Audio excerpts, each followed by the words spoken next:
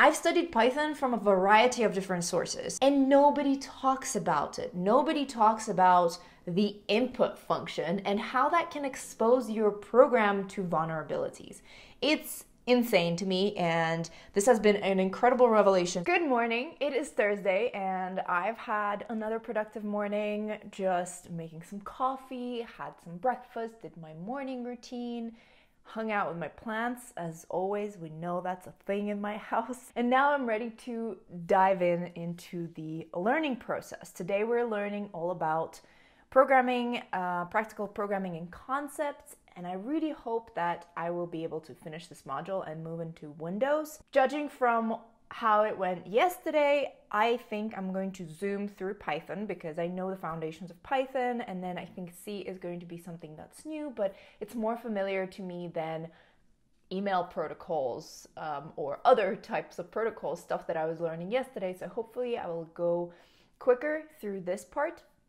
But I have to say, last night before I fell fell asleep, I was thinking about email protocols and I was thinking about all the emails in my inbox and how they got there and all the different protocols they had to go through and all that stuff. It was it's very interesting to understand how things work, how technology works and it's crazy how how we take a lot of this stuff that's super complex for granted because it's just normal everyday stuff, but we don't understand how many transactions and communications actually happens behind the scenes. So knowing all of this is super interesting and super helpful for anyone, obviously, who wants to be in cybersecurity, but also for super users of technology in general. I think it's very interesting knowledge.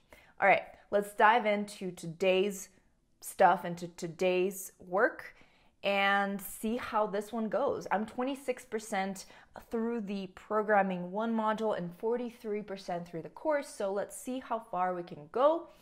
Let's do it.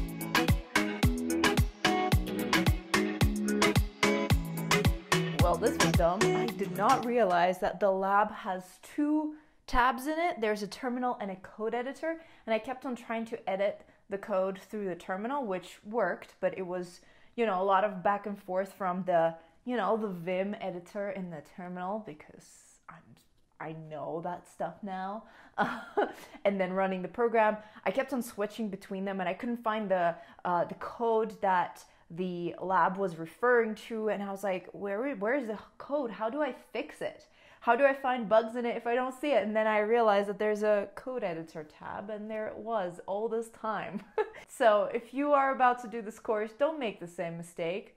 Make sure that you look through the tabs of the lab because there they are, pretty simple.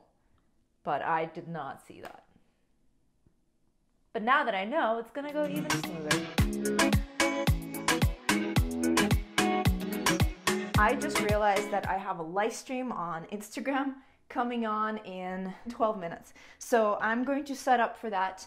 I'm going to do my makeup. Um, I already got my little tripod out. Um, pull up the questions for the speaker, and we're good. so I'm gonna have to pause my studying for that. But after that, I'll be back. The live stream went well. My speakers are always great, so I'm very grateful for that and I'm back to studying. I'm back to studying 44% through the course. I feel like this morning I wasn't as focused as I I would have liked because there was a lot of a lot of things popping up and I was kind of following up on that. So much for calendar blocking, huh? Or being disciplined about my calendar blocking. But back into studying. Let's do this. Let's do this.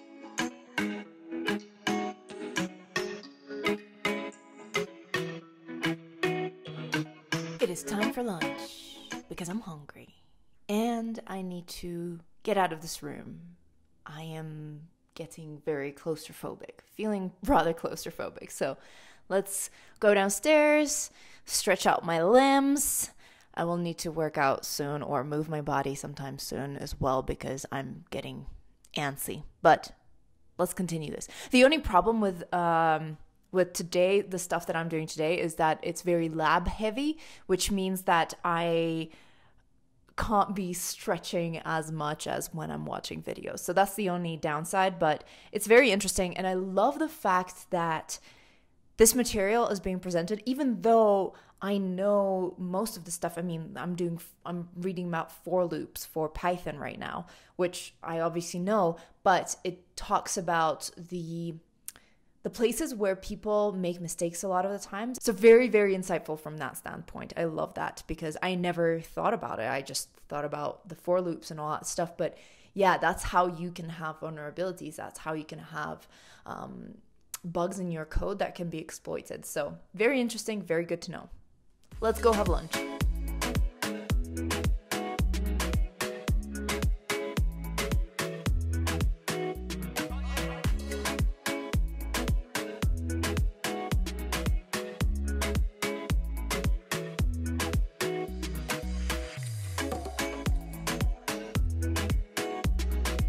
I continued working through lunch and I realized that, you know, obviously reading and doing labs wasn't very conducive to eating at the same time. So, in order to multitask more efficiently, I switched to the next section, which is Windows Foundations, talking about the Windows operating system and all the security considerations when it comes to it, because it's probably it's the most popular, the most widely spread operating system out there. So it's important to understand the basics there too and honestly i used that when i was a child so it's it's a nice little reminder kind of nostalgic.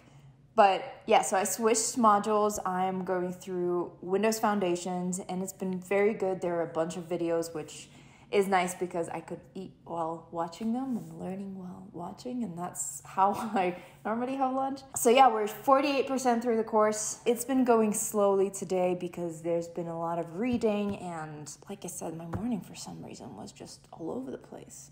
All right, let's continue learning. Let's get that number up.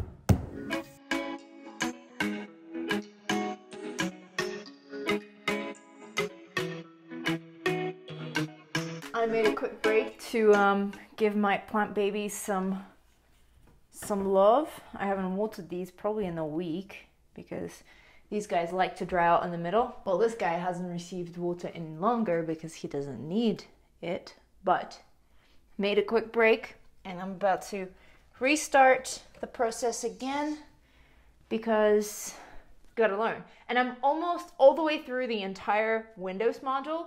It was kind of it was kind of quick, but I understand that I have to go back to some modules um, before I, you know, when I'm preparing for the exam and actually do stuff and practice things on the virtual machine.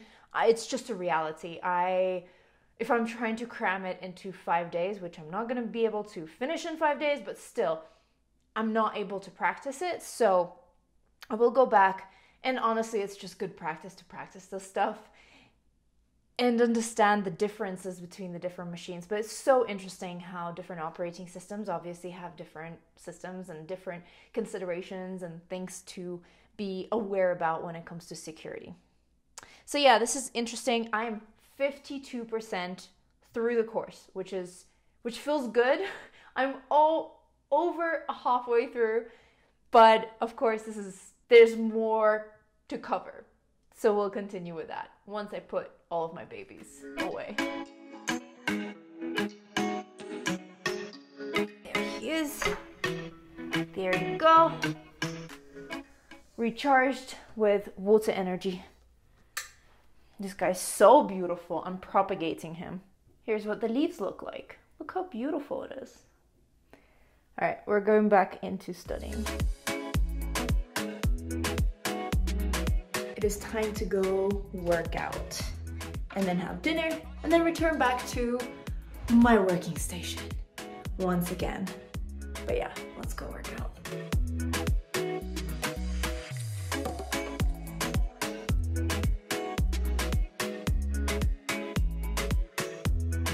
Back from dinner, from working out and showering, as you can probably tell. We had a lovely curry for dinner, and I broke my five day vegetarian streak, so we had some chicken in there. We're back to working, we're back to studying, and I have decided that I'm going to do something slightly controversial in my methodological, methodical brain. I love doing things in sequence, but I'm going to skip ahead. What I'm going to do is I'm going to finish the programming 2 module and then I'm going to go into, as you can see, I've done the Windows Foundation, and then I'm going to jump into the advanced computer hardware module. The reason for it is because tomorrow I want to jump into the security concepts model because I think it's going to be a meaty one and I want to cover it in one of the vlogs this week.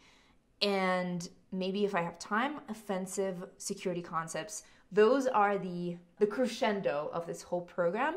And while the programming concepts are super useful, I know a lot of the stuff in there, so I will be able to understand the further modules. However, these modules on practical programming and concepts have been incredibly insightful on how you can create vulnerabilities in your code. I've studied Python from a variety of different sources. I did a computer science class uh, when I was working at university. I did a bunch of boot camps and courses that were paid or free, and nobody talks about it. Nobody talks about the input function and how that can expose your program to vulnerabilities. It's insane to me and this has been an incredible revelation so i'm super happy that this module is there and yes it takes you through the basics so if you know these things it can be repetitive but honestly there's some gems sprinkled in there that are so worth going through the basics once again but i'm going to skip those as I've already said, I'm going to finish this uh, module and we're going to skip to advanced computer hardware for tonight. Let's do this.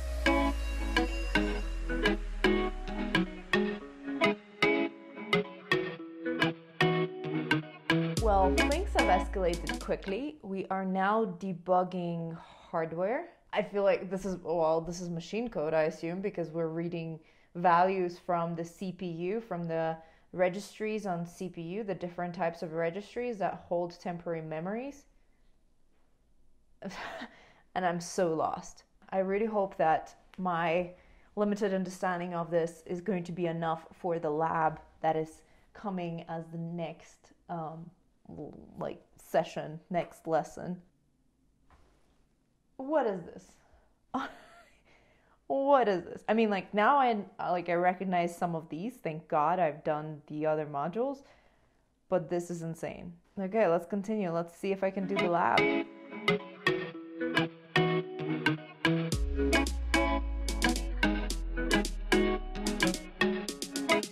This session literally says at the end. If you've been thoroughly traumatized by all of the above, you just want to leave, type like a quick command. I really appreciate the kind of humor that is laced th- throughout this throughout this course. Let's see if I can debug this. Well, it says it's going to take 45 minutes, so I'm not going to be able to do this tonight because it is 8:42 already and I should go to sleep soon but we're 56% through the course, which is good. I don't even know what to expect from this lab. So I'm going to I'm going to start it, but I know I'm not going to finish it because it's just it's time limited.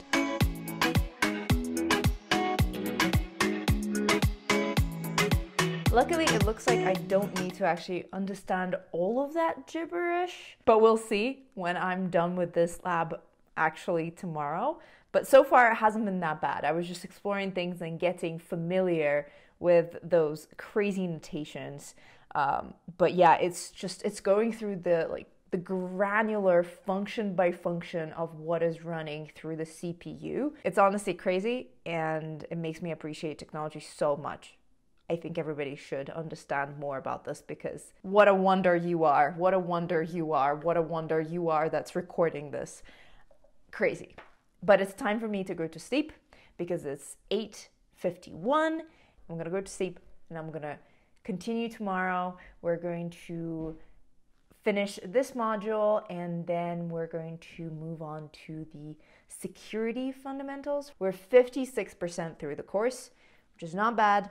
I honestly think at this point it's not about the quantity of the material that I cover, but it's about the quality, my understanding, and all that stuff. And honestly, there's so this is an on demand course, and I can continue coming back to it, and I'll have plenty of time to practice all of this and really digest all of this information in time for the exam, which I will talk more about tomorrow and uh, what my strategy will be like and all that stuff. Slash, I don't have a strategy yet, but I will talk about my thoughts on that. I'll see you tomorrow.